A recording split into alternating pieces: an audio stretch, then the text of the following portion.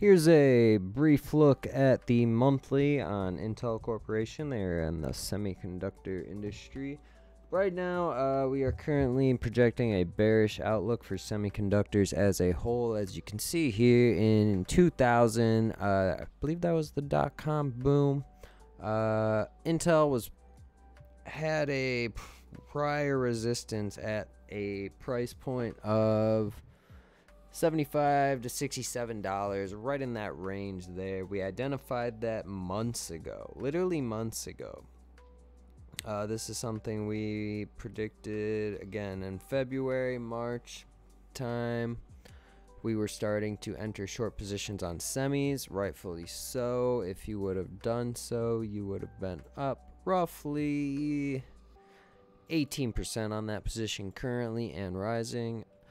Now in 2000 we saw it decline all the way down to a price point of $12.49 for an 82% decrease in value over a period of 2 years. Um we could very well see that again moving forward here. As you can see Intel Intel's breaking down on its weekly 20 moving average.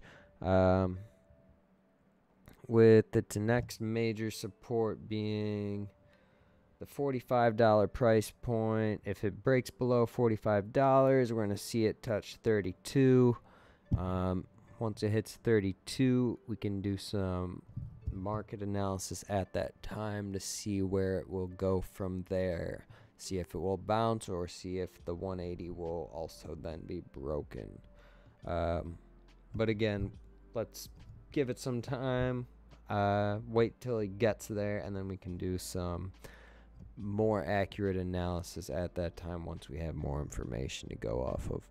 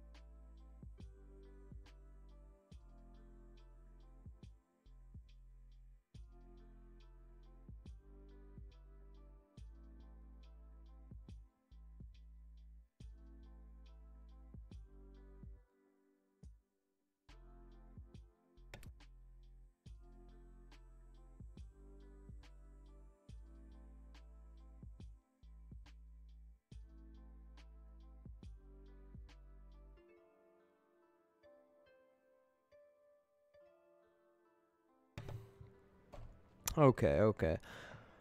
Thank you guys so much. I think we're going to end it there for the day. We've been streaming for about an hour and a half. I appreciate you guys so much. Uh, every second here is a blessing. Uh, make sure to follow on all your respective platforms. Follow on YouTube, follow on Twitch if you're into the whole live streaming thing. Uh, make sure to join the Discord. I'm in there every day. You can ask me questions about particular investments you might be interested in making. Um, and yeah. Thank you guys so much. Uh, if you ever have any questions, join the Discord. Uh, reach out to me on my website. Feel free to check that out. You can buy a shirt there. Uh, yeah, thank you. I uh, hope everyone has a good week. Markets are about to open. Uh, good luck.